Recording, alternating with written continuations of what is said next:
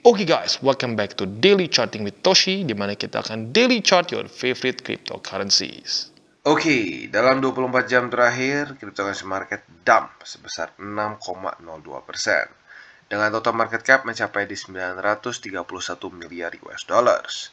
Yang kita bisa lihat untuk Bitcoin, dia terkoreksi sebesar 5,61%.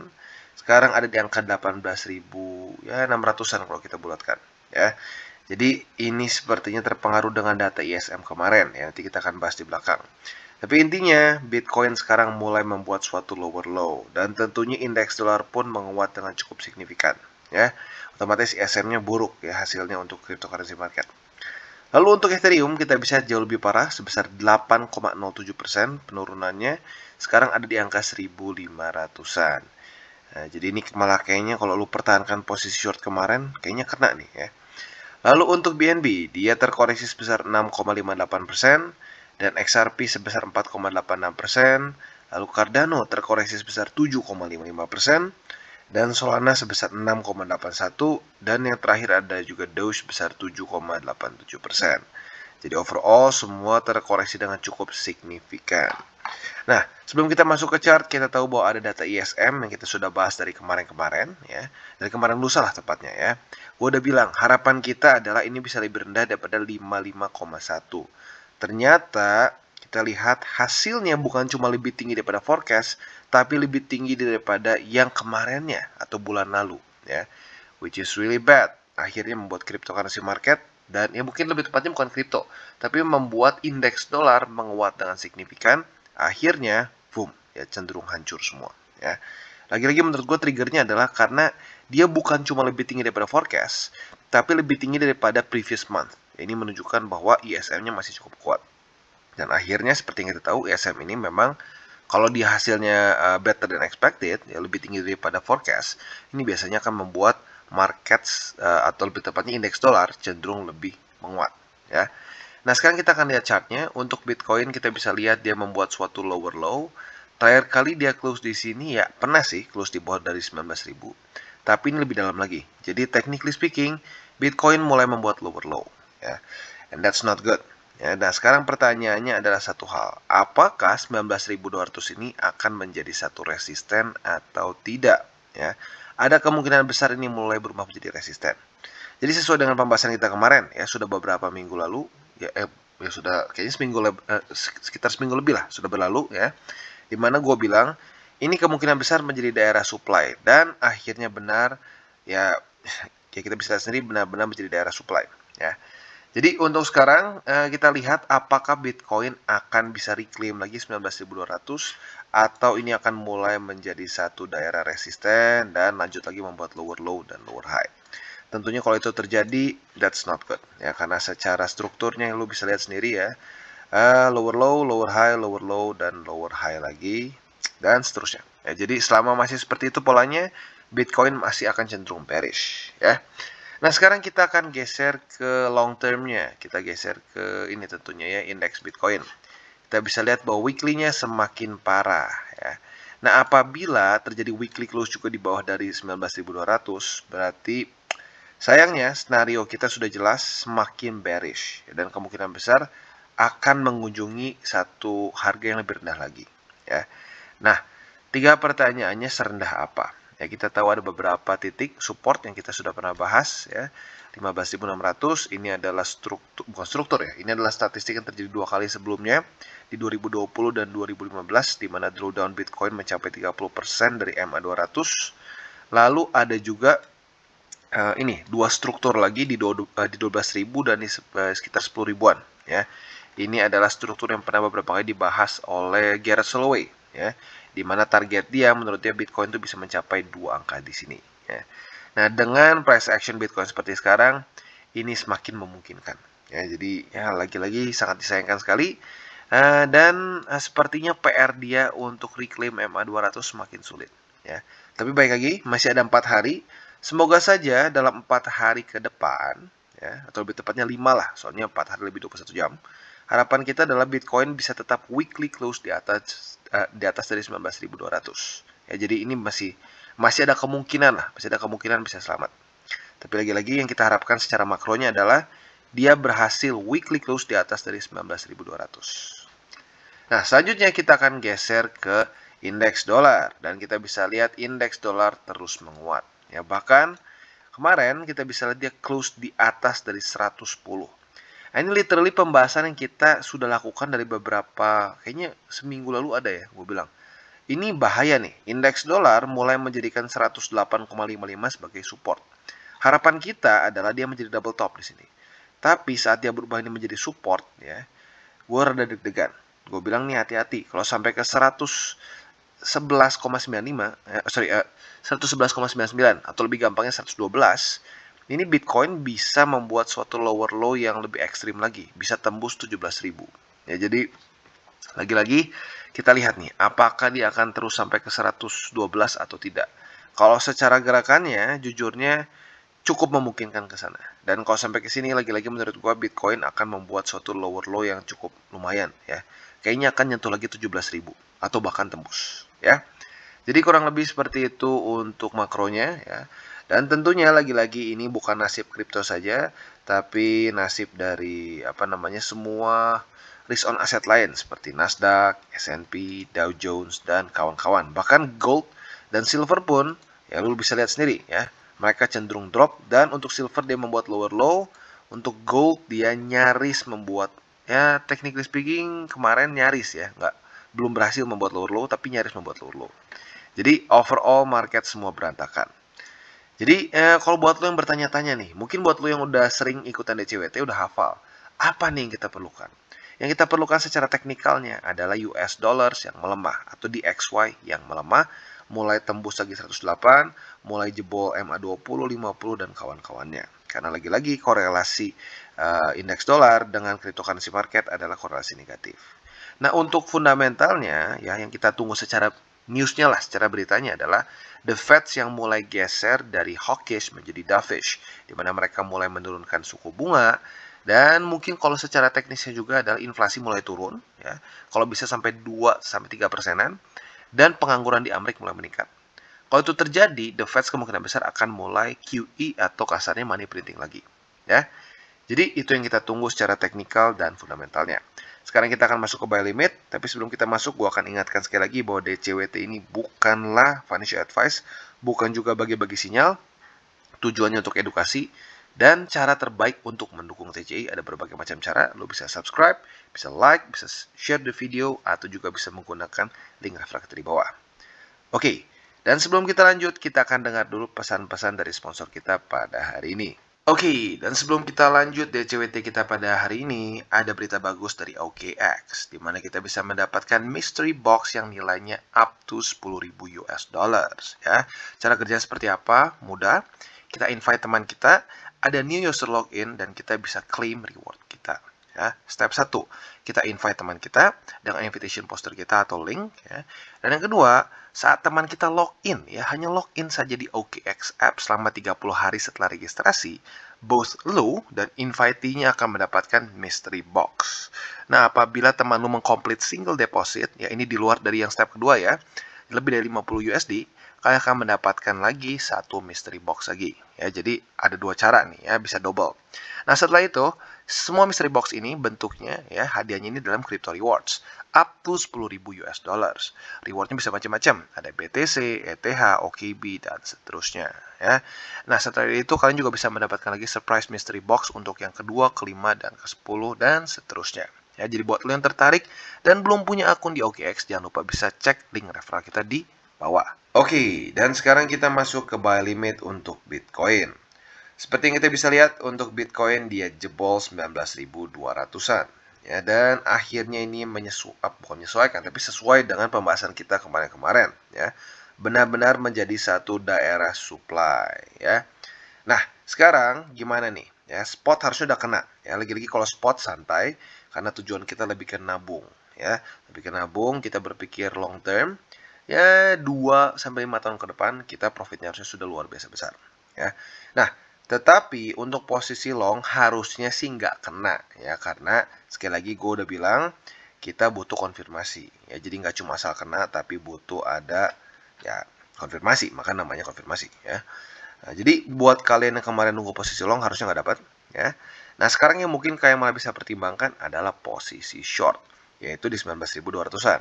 Jadi kemarin kita berharapnya menjadi support, sekarang ada kemungkinan ini menjadi resisten. Ya. Andaikan terjadi rejection satu dan terjadi ah, terjadi rejection kedua atau konfirmasi, monggo kalian bisa pertimbangkan untuk buka posisi short. Ya. Nah, tapi posisi shortnya lu harus dengan pertimbangan juga bahwa RSI sudah kena di 30. Ya, maka itu masuknya ke over sold juga. Ya, jadi ya lu lihat lagi deh. Kalau RSI-nya udah mulai naik ya dan benar-benar reject oleh 19.200 atau terjadi konfirmasi, monggo buka ya. Selain dari itu, kita akan geser ke buy limit kita yang selanjutnya. Kita harus ke indeks Bitcoin. Nah, seperti yang kita sudah bahas di depan, 15.600. Ini adalah statistik yang terjadi dua kali sebelumnya di siklus-siklus yang terdahulu. ya. Nah, jadi ini menjadi buy limit kedua. Andaikan ini tembus juga, ya kita harus bersiap-siap ada kemungkinan Bitcoin akan mencapai ke 12.000. Bahkan, worst case-nya bisa mencapai ke 10.000. Ya. Jadi lagi-lagi itu dua hal yang harus kita pertimbangkan. Jadi buy limit ke satu di situ, eh sorry, uh, buy limit pertama kita di sini 15.600, buy limit kedua kita di 12.000 dan ketiga di 10.000 ya. Harapan gua sih ya kita bisa reclaim 19.200. Tapi dengan macro environment seperti sekarang ya, makroekonomik seperti ini, possibility-nya lebih ke reject ya. Jadi kurang lebih seperti itu ya overallnya. Dan eh, lagi-lagi uh, ya kita lebih enaknya berpikir secara long term untuk spot ya. Jadi nggak usah terlalu stres ya dan pastikan jangan sampai kalian terlalu banyak atau terlalu over leverage masukkan aset kalian ke dalam cryptocurrency. Karena lagi-lagi ini adalah aset yang masih sangat volatile. Oke, okay, dan selanjutnya Ethereum. Nah, untuk Ethereum kita bisa lihat buat lu yang kemarin bersabar dan menunggu posisi shortnya ya, atau pas nih SOP cut loss lu berbeda dengan yang lain, ya, lu malah kemarin profit di sini, malah kena TP, ya.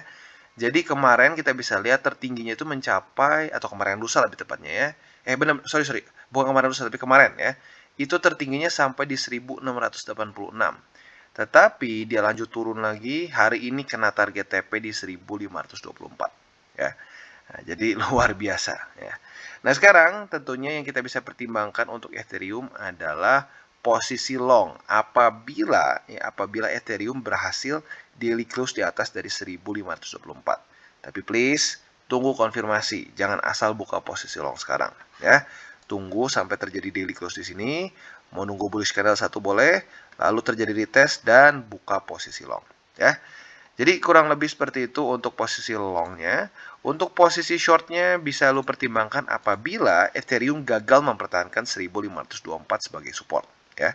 Kalau dia close seperti sekarang nih di bawah di sini, lalu besoknya retestnya malah ke atas ini sebagai resisten, nah monggo kalian bisa pertimbangkan untuk short apabila terjadi konfirmasi ya. Jadi untuk uh, untuk long dan shortnya seperti itu ya. Untuk spot harusnya udah kena juga di 1524 kalau buat kalian yang sudah pasang di situ atau juga bisa pertimbangkan untuk buy limit juga Ethereum di daerah 1434 juga untuk posisi spotnya ya.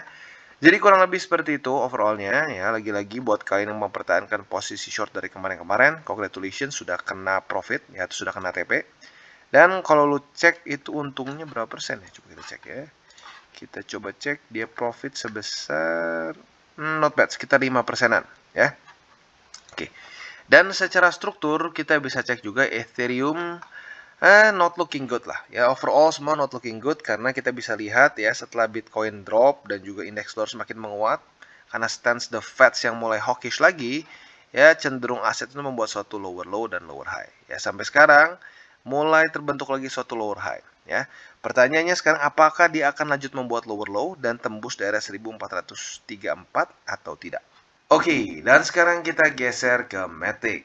Nah, untuk Matic kita bisa lihat bahwa kita kemarin yang buat TP ya, yang TP di Bollinger Band itu hoki banget ya. Literally cuma dikasih sekali kesempatan buat lu yang kemarin gak lupa TP, congratulations ya. Karena langsung drop ke bawah ya. Nah, jadi eh, buat lo yang nggak tahu ceritanya gini ya, kemarin atau lebih tepatnya tanggal 1 September, Matic berhasil reclaim. Ada retest, ada confirmation, akhirnya kita buka posisi long. Nah, awalnya targetnya itu di EMA 200, tapi Bollinger Band-nya mengecil, ya. Akhirnya gue bilang, udah, jangan serakah, TP-nya di Bollinger Band atas aja, ya. Dan kemarin literally dapat sekali kesempatan, dapat wick langsung turun lagi, Ya. Jadi buat yang lu selamat dari posisi longnya, congratulations. Nah untuk sekarang ya adalah posisi short yang ada kemungkinan bisa kita pertimbangkan. Nah jadi kemarin atau lebih tepatnya jam 7 pagi tadi dia daily close di bawah dari 83 sen di sini ya. Nah sekarang apabila Matic retest daerah sini ya, dan kembali ke reject uh, mungkin lo bisa pertimbangkan untuk buka posisi short. Lagi-lagi tunggu konfirmasi ya. Nah, tentunya target TP-nya jelas. Target TP-nya adalah di daerah 77 sen di sini, ya. Jadi itu untuk posisi shortnya. Untuk posisi long atau akumulasi spot tinggal kita balik logikanya. Apabila ya Matic bisa bertahan di atas dari 77 sen, nanti saat udah kena TP si shortnya ya, dan terjadi konfirmasi ya. Jadi dia kerja pertama, kerja kedua. Nah, monggo uh, monggo bisa buka posisi long dengan target TP-nya antara dua nih antara di MA20 atau di 83 sen. Tinggal lu yang pilih sendiri. Ya. Kurang lebih mirip-mirip dan cukup dekat for now. Ya. Dan untuk posisi spot, monggo lu uh, apa, buka posisi uh, buy limit langsung boleh. Ya, karena lagi-lagi untuk spot lebih ke averaging. Untuk seperti kayak nabung lah kasarnya. Ya. Jadi overall seperti itu. Untuk secara struktur, mix ya mix lagi-lagi kemarin cukup bagus cukup bullish mempertahankan MA50 tapi akhirnya jebol juga ya jadi sekarang PR untuk Matic adalah mungkin bertahan jangan sampai daily close di bawah dari 77 sen karena 77 sen ini kemarin-kemarin cukup kuat ya beberapa kali menahan harga Matic kalau sampai tembus kemungkinan akan ya ke sini ke 68 sen ya alias ini adalah struktur penting sebenarnya. Ini adalah summer low 2021. Jadi kalau sampai dua ini jebol, ya ada kemungkinan price range-nya kembali lagi ke awal saat Bitcoin ancur-ancuran. Oke, okay, dan selanjutnya kita akan geser ke BNB dan berita yang nggak terlalu bagus untuk BNB. Kita bisa lihat bahwa satu candle kemarin tiba-tiba dia close daily di bawah dari 263,6. Nah, ini berita yang nggak terlalu bagus karena 263,6 ini adalah summer low 2021 alias satu struktur support yang cukup penting ya. Nah, tapi walaupun technically tembus ya, untungnya tipis. Kalau tipis biasanya masih ada chance untuk di reclaim ya. Kalau rada jauh itu ya susah ya. Tapi kalau tipis seperti ini masih ada kemungkinan besar BNB bisa reclaim ya. Nah, jadi harapan terbesar kita pada BNB adalah dia bisa reclaim 263,6 di hari ini ya. Dan mulai ya nggak apa-apa sideways dulu ya sidewaysnya tapi di sini ya jangan sampai di bawah dari 263,6 karena kalau dia mulai di bawah ya ya ada possibility lanjut lagi turun sampai ke ya 216 di 205 bahkan di bawah 200 ya jadi uh, untuk sekarang ya yang kita bisa pertimbangkan adalah posisi long ya posisi long apabila kalau besok ya BNB mulai daily close di atas. Nah, setelah dia daily close di atas, ada retest. Nah, kalian bisa pertimbangkan untuk buka posisi long. Tentunya dengan target TP di 276,1 ya. Jadi kurang lebih seperti itu untuk posisi longnya, very simple. Dan untuk posisi spot harusnya udah kena ya, karena harusnya pending order ya. Jadi udah kena, lagi-lagi berpikirnya seperti nabung. Nah, posisi shortnya tinggal kita balik logikanya. Apabila nanti dia di sini mantul ya dan lanjut ke atas, mulai ke reject di sini terjadi konfirmasi silahkan buka posisi short ya. Nah, jadi mungkin andaikan nih Bitcoin mulai sideways di daerah seginian. Nah, ada peluang di BNB untuk kita bisa uh, basically melakukan apa ya? Ya, short term trade ya dengan price range yang sama di 276,1 dengan 263,6 ya. Jadi kurang lebih seperti itu. Secara struktur ya kita bisa lihat sendiri sayangnya sudah mulai pecah. Awalnya BNB salah satu yang terbaik ya. Kita bisa lihat strukturnya bagus. Higher high, higher low, higher high, higher low dan terus seperti itu. Akhirnya mulai hancur setelah ketemu MA200 di daily. Bahkan nggak sampai retest pun langsung turun ya. Setelah itu dia membuat suatu uh, um, ya mungkin technically speaking ini seperti head and shoulders ya head and shoulders lalu mulai turun lagi dan sekarang karena ya indeks dolar menguat dengan cukup signifikan akhirnya drop bahkan mulai close di bawah dari summer low ya jadi ya not looking extremely good Oke, okay, dan selanjutnya kita geser ke atom. Dan untuk atom, sesuai dengan pembahasan kita kemarin dan kekhawatiran kita kemarin, akhirnya beneran menjadi double top. Ya, double top di sini jelas. Nah, tapi lucunya Atom ini walaupun double top ini masih menjadi salah satu aset kripto yang paling bagus secara struktur ya. Sampai sekarang masih belum membuat lower low dan technically speaking juga belum membuat suatu lower high karena double top itu nggak lower high ya. Nah, jadi tinggal kita lihat nih apakah dia akan jebol daerah 10 dolar lebih 57 sen atau tidak. Karena kalau sampai jebol di sini eh, berarti dia mulai membuat lower low ya. Nah, sekarang ada kesempatan apa untuk Cosmos atau Atom?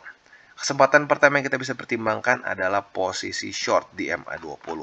Jadi andaikan nih ya, pada hari ini Cosmos masih tetap close daily di bawah dari MA20 dan besok terjadi konfirmasi lagi retest ke 20, lo bisa pertimbangkan untuk buka posisi short otomatis di MA20 ya. Sekarang ada di 11 dolar lebih 80 eh sorry, eh, 11 dolar lebih 81 sen ya. Nah, target TP-nya ada dua. Yang pertama adalah yang konservatif di MA50 yang ada di 11 dolar lebih 23 sen. Nah, untuk yang lebih agresif bisa pertimbangkan di 10 dolar lebih 57 sen, ya. Nah, jadi kurang lebih seperti itu, ya. Dan e, sebenarnya gini, kalau mau ngomongin double top, technically speaking, ya, ini belum benar-benar double top. Ya, ini double top itu kalau sampai dia kena neckline di sini 10 dolar lebih 20 sen. Tapi mulai bau-baunya seperti double top, ya. Jadi Eh, lagi-lagi penentuannya mungkin di dua hal. Apakah dia tembus 10 dolar lebih 57 sen atau tidak? Kalau dia tembus 10 dolar lebih 57 sen, berarti yang pertama dia mulai membuat lower low. Kalau dia sampai ke 10 dolar 20 sen, artinya benar-benar dia membuat double top. Ya, jadi ya lagi-lagi kalau sampai dua itu terjadi not looking good. Ya. Nah, tapi sekali lagi gue ingatkan, secara struktur atom not bad at all. Ya, bahkan menurut gue mungkin secara struktur masih yang paling bagus masih belum membuat lower low dan masih belum membuat high, uh, lower high ya. Nah, untuk posisi long atau akumulasi spotnya bisa kalian pertimbangkan antara di MA50 atau di 10 dolar lebih 57 sen ya. Nah, untuk di ya tentunya kalau spot lebih bisa pending order aja langsung buy limit. Tapi kalau untuk long, lo harus tunggu konfirmasi. Tinggal lu, eh, tinggal lu lihat konfirmasi di mana, di MA50 atau di 10 dolar lebih 57 sen. Lagi-lagi bentuknya seperti Wendy's ya kalau kita nunggu untuk long. Jadi rejection pertama, lalu rejection kedua atau konfirmasi, baru buka posisi long. Nah, kalau lu dapat di 10 dolar lebih 57 sen, berarti otomatis target TP-nya di MA50. Nah, kalau lu di MA50 dapatnya, target TP-nya antara di 20, uh, eh, antara di MA20 atau di 12 dolar lebih 38 sen. Ya. Jadi kurang lebih seperti itu untuk atom atau kosmos. Oke okay guys, jadi itu adalah akhir dari segmen DCWT kita pada hari ini. Dan jangan lupa bagi kalian yang merasakan manfaat dari segmen ini, jangan lupa untuk share ke teman-teman kalian. Dan apabila lu pengen mensupport channel kita, ya TCI, jangan lupa untuk menggunakan link referral kita di bawah. Nggak wajib, ya tetapi apabila lu menggunakan link referral kita di bawah ada macam-macam ya dari Bybit, Huobi, Maxi, toko kripto dan banyak lagi ya ya walaupun nggak wajib, tapi kalau menggunakan link referral kita, lu secara langsung membantu perkembangan dari TCI.